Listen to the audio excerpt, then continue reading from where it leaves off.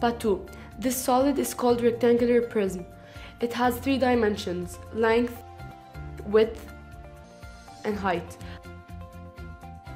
Let's suppose that the length measures 3 centimeters, the width measures 3 centimeters, and the height measures 4 centimeters. The centimeter cube is a cube in which each side measures 1 centimeter. It's used as volumetric unit. Let's fill the prism with adjacent centimeter cube. How many centimeter cube did you use till now? Very good, 9.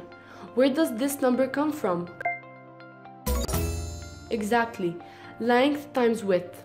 Let's call this red part layer. So each layer contains 3 times 3 centimeter cube. So the number of centimeter cube in each layer is equal to length times width. But does it fill the prism? Good. How many layer will you need to fill it? Non pas tout. Continue to fill.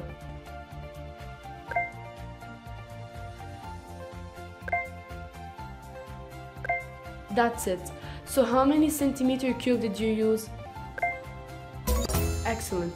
3 times 3 times 4.